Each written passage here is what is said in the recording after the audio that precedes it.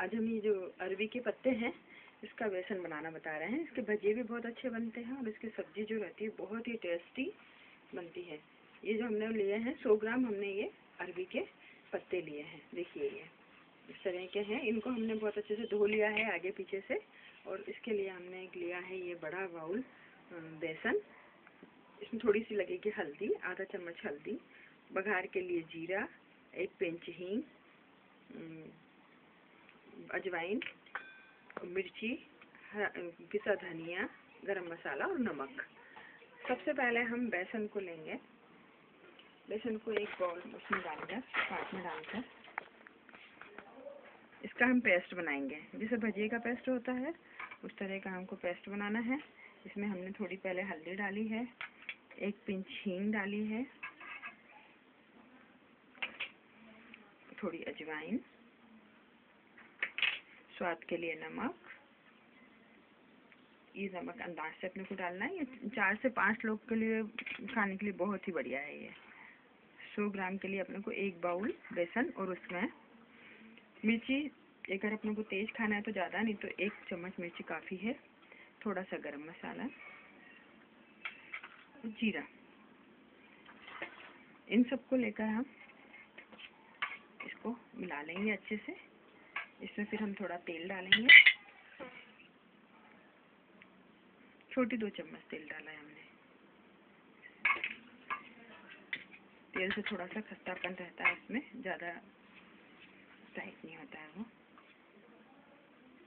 फिर हमें इसे भजिए के बेसन के समाने से हम पानी डालकर एक ही दिशा में गोल गोल हाथ लगाते हुए घोल लेंगे। इतना ऐसा पतला रखेंगे इसे हम कि हम पत्तों पर आसानी से इनको चढ़ा सके। लेप लगा सके पत्तों पर।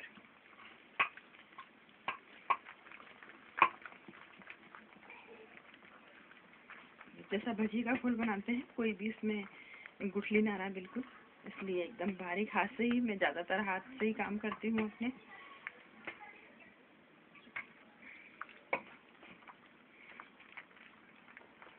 आसानी से सब भूल जाता है। बेसन को अभी थोड़ा और पतला करेंगे जो इसके ऊपर लग जाए। अब अपना ये बेसन तैयार है। ये बेसन इस तरह का होना चाहिए ताकि पत्ते पे अपन आसानी से इसको लगा सकें। ये हम इस तरह से पत्ते पर बेसन लगाएँगे।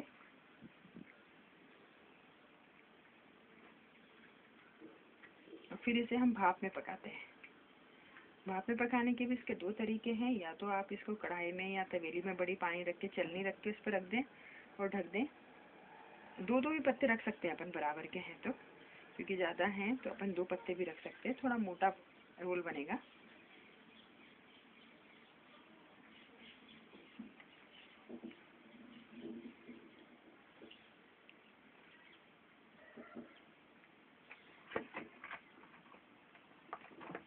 ये इसको इस तरह से हम रोल कर लेंगे।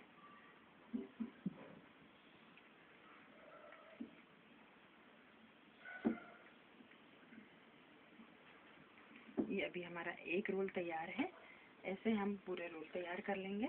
फिर तैयार करके इसको हम भाप ये हमने बेसन लगा करके इसके ऐसे रोल बनाकर रख लिए हैं। ये करीब बारह, तेरह पत्ते हैं जो अब हम क्या करेंगे? इसको भाप में पकाने के लिए दो विधियाँ हैं। या तो आप कुकर में भी बगा सीटी लगा करके इसको रख सकते हैं, सीटी नहीं लगा के, या फिर कढ़ाई में पानी रखें और कढ़ाई का पानी उबल जाने पर इसमें चलनी रखकर और इसमें हम इसको जमा देंगे। चलनी में थोड़ा सा तेल लगाया हुआ है ताकि ये चिपके नहीं। फिर हम इसे ऐसे चलनी में पास पास जमा देंगे।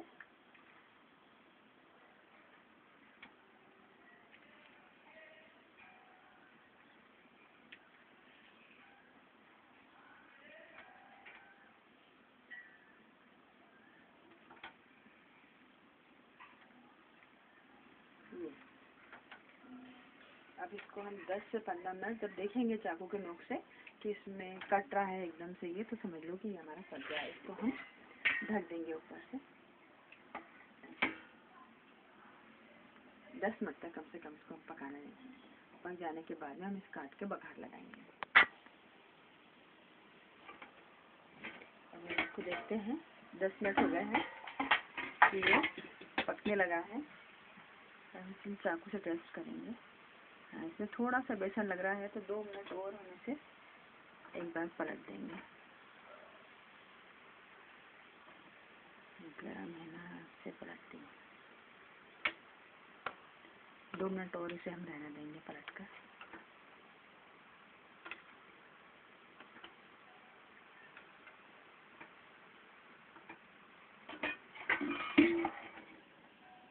इसको पक जाने के बाद पूरा, फिर हम इसे काट के वापस बघार लगाएँगे। ये हमारे पत्ते उबाल के जो हमने ठंडे कर लिए हैं, अब हम इन्हें बारीक बारीक काट लेंगे ऐसे।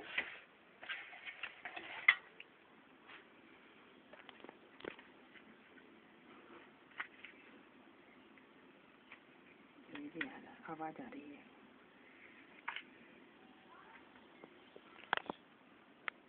ये अब हम इसको पहले थोड़ा सा डीप फ्राई करके बताती हूँ मैं आपको कि इन्हें हम हम डीप फ्राई भी कर सकते हैं। तो ये हमने कढ़ाई में तेल गरम रखा हुआ है। तेल गरम हो गया है हमारा। उसमें हम ऐसे इसको डाल देंगे।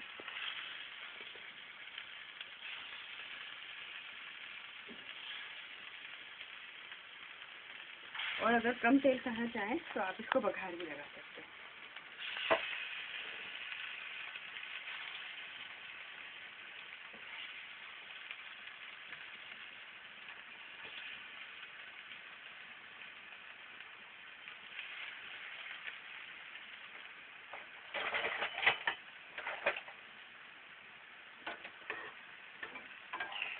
उबला हुआ है ये।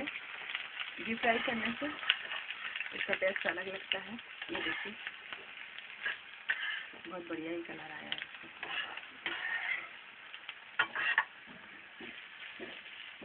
हाँ इसको उबालते समय एक बात का ज़रूर ध्यान रखना चाहिए कि चाकू से एकदम कटना चाहिए। अगर थोड़ा भी कच्चा रहता है तो इससे गले के अंदर खुजली होने लग जाती है।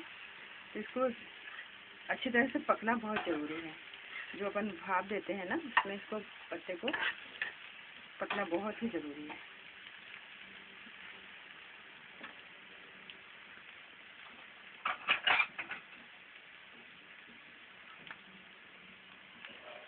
ये हमारे डीप फ्राई हो गए हैं।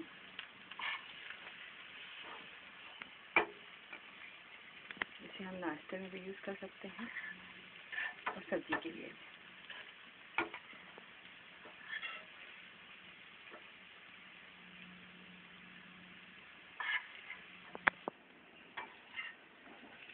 बनाने के लिए तेल गरम किया है।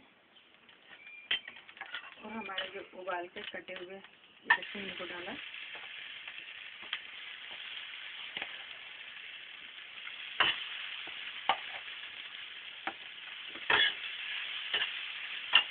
इसमें हम ऊपर से और मसाला डालेंगे, थोड़ी हल्दी धनिया, पाउडर मिर्च पाउडर। अंदर हमने वैसे भी मसाला डाला था, लेकिन इसके ऊपर भी हम मसाला डालेंगे। और नमक।